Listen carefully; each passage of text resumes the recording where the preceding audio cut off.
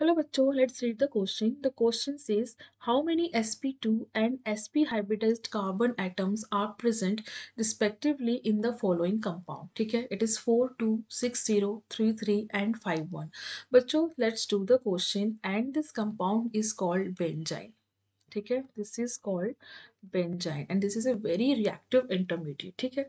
तो let's see what type of bond is here कितने, कौन से तरह के बॉन्ड्स यहाँ पे प्रेजेंट है?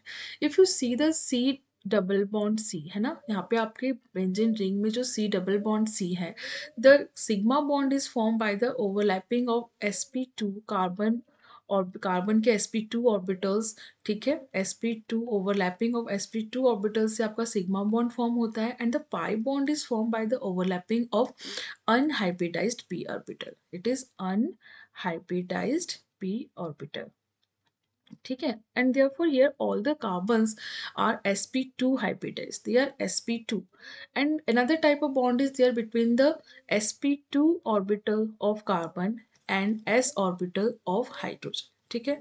This bond is also present now let's discuss about this triple bond बच्चों ट्रिपल बॉन्ड जब आप करते हैं तो सी ट्रिपल बॉन्ड सी जब हम करते हैं suppose in this example here the single bond is sigma bond is between the S P uh, overlapping of sp and sp orbital of both this carbon ठीक है and both the pi bonds are formed by the overlapping of uh, unhybridized p orbital जब आपका unhybridized p orbitals होते हैं उनकी जब आपका overlapping होती है that forms that gives you the यहाँ पे दो पाई बॉन्ड क्रिएट होता है यहाँ पे ठीक है ना due to overlapping of unhybridized p orbital but in this case there is no unhybridize p orbital ठीक है? This third pi bond is form by the overlapping of S P two orbitals only यहाँ पे जो sp2 orbitals हैं and that containing one electron they getting sidewise overlapping यहाँ पे आपका sideways overlapping होता है and that forms your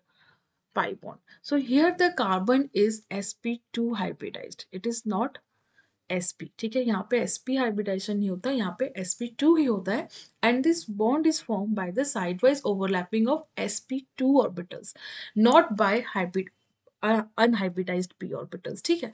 So here if you count the number of sp2 two carbons are one two three four five six there are six S P two carbons and there is no S P carbon यहाँ पे S P carbon नहीं है, ठीक है?